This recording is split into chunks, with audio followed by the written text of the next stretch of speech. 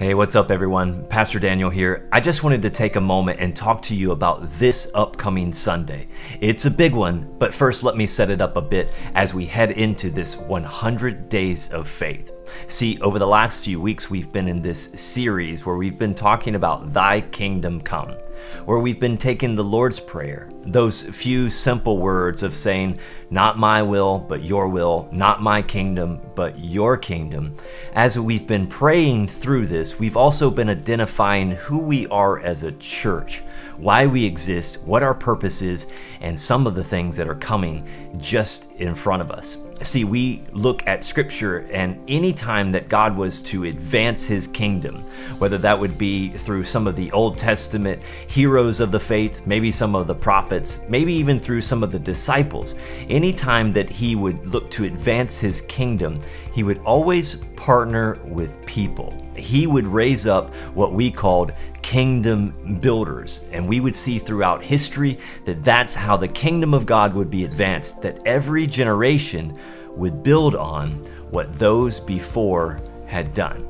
And so Jesus was a kingdom builder, disciples were kingdom builders, and you and I, as a part of City Church, we are kingdom builders. We said it this way that we exist to advance the kingdom of heaven into every heart and every home on earth.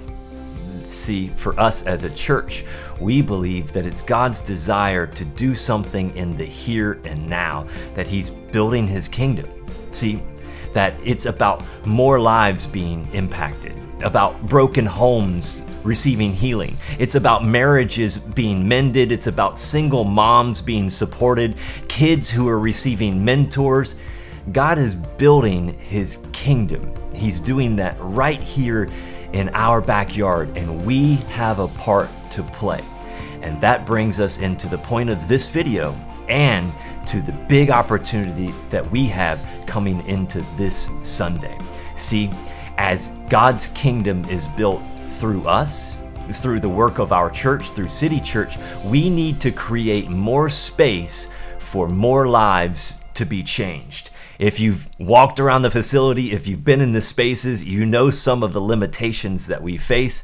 We are multiplying, we are growing. Our kid spaces, our student spaces, we are slammed in there. The places that we are to meet for counseling, for marriage, or if we're to sit down and just have a staff meeting, we need space as we continue to see more people come into the house, as we see more lives impacted by the gospel. Just recently, we've been seeing people say, I want to get saved, I want to get baptized. We believe that that's just the beginning. And so we need to partner together to build the kingdom of God. We need to create more space at City Church for more changed lives. And if you've heard me talking about this recently over the last couple of weeks, I've confessed I'm not great at talking about money. In fact, I even try to dodge it in all that I can. But here's what I'm convinced of that God partners with people and that He wants to do something through me, through you, through all of us together as we trust Him in this process to build the kingdom through us. So, what does that look like for us? What are we doing? Well, you've heard me talk about the number. In order for us to create more space for more changed lives, we need to raise $125,000. Now, that math can simply be broken down and it is bite sized, it is digestible if we just look at it and say, hey, if I can do my part, if I can come and be full of faith, if I can give my best, then God will multiply, just like those fishes and loaves. If we would just trust Him with the little, I believe that he's going to take what we give and multiply it out to reach more and more people. So, how can you participate? What does it look like as we enter into 100 days of faith? See, this Sunday is going to be day one. We are kingdom builders. And on day one and for the next 100 days thereafter, we're going to be praying boldly continuing to pray, Thy kingdom come, Thy will be done. We're going to be serving faithfully within our church, serving the ministries, serving in our giftings, but also serving in the build out. We are building out those spaces even now. You've probably seen them. If you haven't, you need to take a tour. We've been putting up the drywall and the framing. Now we've been putting up the HVAC, installing the air conditioners. The plumbing has been going in. Electrical is getting pulled. We are so close to putting up drywall and paint and flooring and finishing these spaces. And if, if, my friends, if we can raise the capital up front, well, that date is coming just around the corner. If we can raise the cash up front, then we can continue building out. And here's the date. Here's our target. Here's what we're aiming for. Somewhere in February, by Easter of next year, we would be in that space. But my friends, that only happens if we trust the Lord with our finances, if we're get, uh, generous in our giving. So I want to encourage you to prayerfully consider what would the Lord have you and your household, your family do to participate in 100 days of faith? Will you be a kingdom builder with us? Will you be a part of the cause that brings great effect to the lives of people around us? Listen, why are we doing this? It is not about a building. We believe, we know, we're convinced that lives are at stake, eternity is at stake. My loved ones, your loved ones, your spouse, your kids, your family members, your friends, your colleagues, the people that you interact with. This is why we are doing this. They need to hear the good news of the gospel. They need to experience the life changing presence of God and we can do this together. This isn't just some nice to do type idea, just, well, this would be a good thing, maybe if. No, my friend, this is mission critical. If we're going to reach more people, if we are going to build out the kingdom of God, if we're going to see more lives change, more salvations, more baptisms, then this is mission critical. And so, what are we asking? We're asking that you would make a kingdom investment that you would give of your resources and that you would give your very best. See, throughout scripture, when we look at giving, it was always about sacrificial giving. It wasn't about the specific dollar amount. It was more about it was about some sort of sacrificial giving. I'm going to trust God with these resources. I'm going to reach deep, I'm going to believe deep, and God, I'm going to trust you with it. My wife and I, just to be honest with you, things are tight.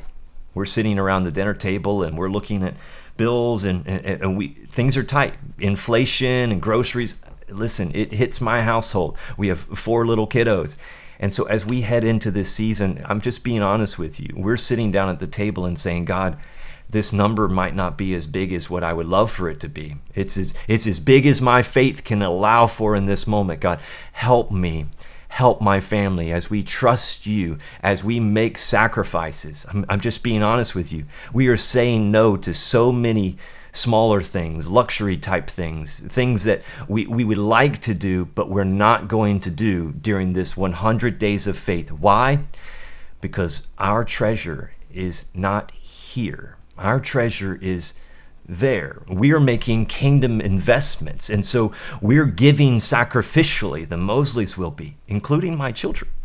We're all participating, and we're asking you to participate as well. What will you give? What is the Lord leading you to give? What investment will you make into the kingdom of God? And is it worth it? Well, if we're content with only having those who are here today, then we don't need to do this.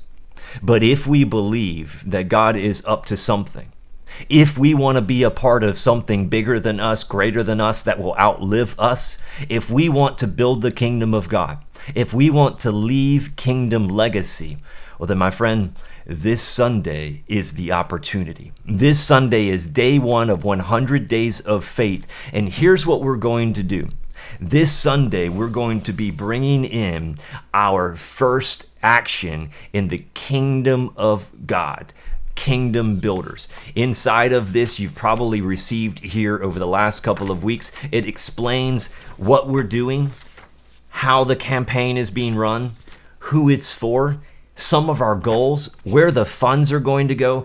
If you go over to our website and you haven't seen this yet, you can find a digital version of this. Just look to the top of our website and you'll see Kingdom Builders. If you click on that, it's going to give you the basics of what we're doing, the floor plan, our goal, what it looks like, the purposes. This is a good site for you to go to, citychurchpooler.com, and just click on Kingdom Builders. That will explain a little bit more to you. You can also give while you're over there and make your first contributions towards the campaign. So let me again talk about this weekend because this one is so, so important as we come to church on Sunday, we're asking everyone to participate. If you're an owner, if you are a part of City Church, if you have been blessed by the ministry of our church at all in any way, we're asking you to pay it forward, to make an investment.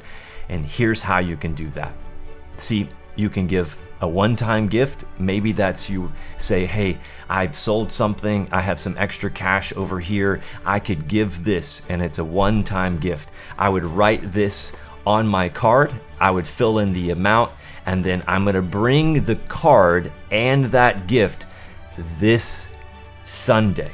This Sunday is the first fruits offering. We're all bringing our pledge cards, the amount filled in that we're trusting God to help us to give, and we're bringing the first fruits of that, the first offering of this.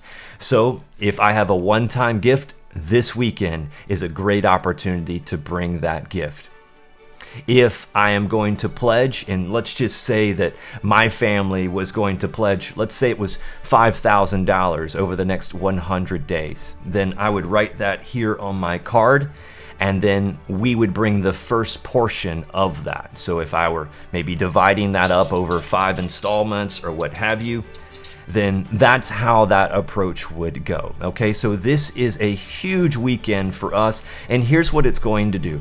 By having our first fruits come in, this gives us cash on hand so that we can move through the next phases of our build out.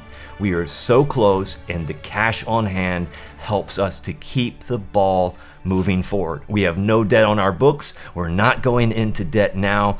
And so we're believing that God is going to provide every need through us as we build the kingdom of God together. So we're entering into 100 days of faith. How do you participate? Then you pray boldly, you serve faithfully, and I'm asking that you prayerfully consider how that you might give generously starting this Sunday. This Sunday is going to be a big one. I hope that you'll be there. And what we're going to do is we're bringing those gifts to the storehouse, to the church, much like they did in the Old Testament. And then we're going to have a moment in service. It's going to be a special moment where we're all bringing those gifts to the storehouse, to an offering box at the same time believing God and trusting God that as we give, it's going to be multiplied. And the ROI, it's going to be a return on investment from the eternal kingdom. There is no better ROI than that, my friend. Well, let me show you one last thing and then I'll let you go. Is if you would like to follow along on the campaign as you give, we have that set up on our website. So let me show you a bit of what it might would look like and so again, you can go and you can see that through the website citychurchpooler.com. But one other thing while we're up here is your giving profile. So if you choose to set up a pledge with us, saying that I'm going to give over the next 100 days I'm going to set up a pledge. Well, here's what it's going to look like on your giving profile. You can see here that this is hypothetical. Let's suppose that my wife and my wife and I this was our campaign, what we're going to give. You could see that number and here's my reason for bringing this over here is that you have the opportunity to manage your campaign yourself. We're not going to manipulate you. We're not going to arm twist you. This is something that we're asking you to prayerfully consider and then for you to manage yourself. We'll gently remind you, but this is between you and the Lord. I'm not going to be looking at the specifics of individual givers. This is for something for you to see. And so, up here on this page is a great way for you to track your progress. This is also a great place for maybe you to set up a recurring gift. That's the easiest way to manage it. And that's how my wife and I will manage our pledge, is on the first of the month.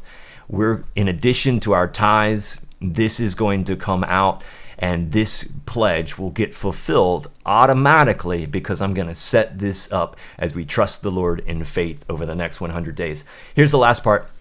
You can see on the bottom here is you can track the progress of the overall goal. That means the collective goal of all of our church. We're trying to raise 125K and we'll start that this weekend.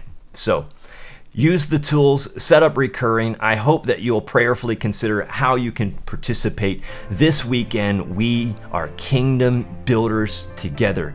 Why? So that all might hear the gospel, so that all might come to know him, so that all might experience what so many of us, what you have experienced the grace and the goodness and the love of a Heavenly Father.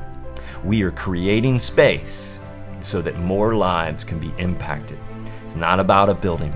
So as you make an investment into this campaign, you can trust that every dollar is going into making an eternal difference, not just in one individual's life, not just in our moment, but for generations to come, for those who will use the spaces for years after us. Thank you for prayerfully considering. Thank you for being so generous. Thank you for being a part of our church and the mission to reach more people for Jesus Christ. I love you. I can't wait to see you on Sunday. I'm excited to celebrate with you.